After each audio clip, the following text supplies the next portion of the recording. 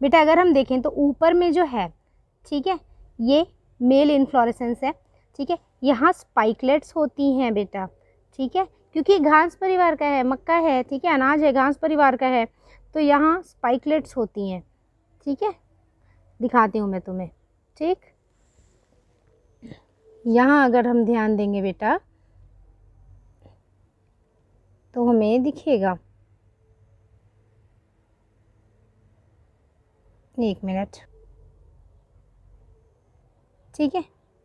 तो हम देख सकते हैं बेटा। ठीक? ये हमसे हिल जाता है बेटा, हमको ज़्यादा टेक्नोलॉजी नहीं आता। ठीक है? तो देख सकते हो यहाँ। ठीक है?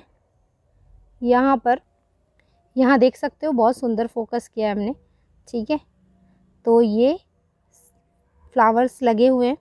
ये स्पाइकलेट्स एक्चुअली लगे हुए हैं। क्या लगे हैं? स्पाइकलेट्स और यहाँ से तुम्हें प्यारे प्यारे बाईलोब्ड एंथर भी दिख रहे होंगे, जिसको हमने अभी तोड़ा था। ठीक है? ये एंथर्स हैं। तो ये तो बेटा आपने देख लिया, इसका मेन इन्फ्लोरेंस जिसमें स्पाइकलेट्स थी। ठीक है? अच्छा बाद में क्या होता है ना, जब पेड़ थोड़ा सा बड़ा हो जाता है मतलब पेड़ नहीं, पौधा बोलोगे इसे। ठीक है? तो मेल इन्फ्लोरेंस ऐसा दिखेगा। दिख रहा है? एक्चुअली ये पौधा छोटा था। ठीक है? जो पहले दिखाया मैंने। है ना? और इसका पड़ोसी बड़ा है। तो इसमें ऊपर मेन इन्फ्लोरेसेंस जो है पूरा एकदम चारों तरफ़ फैले हुए हैं, ठीक है? इसको बोलते हैं बेटा, इसको बोलते हैं टैसल मेल इन्फ्लोरेसेंस अब तुम्हें फीमेल इन्फ्लोरेसेंस दिखाते हैं, छोटू वाले पौधे का दिखाते हैं, ठीक है? छोटू वाले का। तो चलो, देखते हैं इसका फीमेल इन्फ्लोरेसेंस ये बाइसेक्सुअल पेड़ है, पौधा है एक्चुअली पेड़ पेड़ बोले जा रही हूँ। प्लांट है बाइसेक्सुअल तो ये उसका फीमेल इन्फ्लोरेसेंस ये ये क्या है बेटा? इसको भी टैसल बोल देते हैं, क्यों? क्योंकि जो भी चीज़ ऐसे चारों तरफ़ से फैल रही है वो टैसल, ठीक है?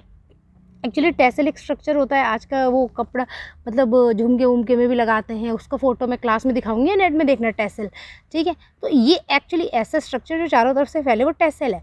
ये, और ये है क्या? किसका बना ये? स्टिग्मा स्टाइल हमने बोला कि मेल इन्फ्लोरेसेंस में भी, कहाँ गया?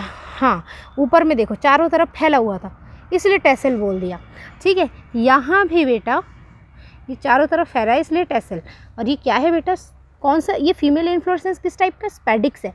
क्यों? क्योंकि हम यहाँ देख सकते हैं, ये जो कवच है ग्रीन ग्रीन इसको स्पेद बोलते हैं। इसको क्या बोलते हैं? स्पेद ठीक है, अगर हम इस पेद को हटा दें तो हमें पूरा फीमेल फ्लावर्स का गुच्छा दिखेगा, जिसे हम बोलेंगे इनफ्लोरेसेंस ठीक है, क्या बोलेंगे बेटा?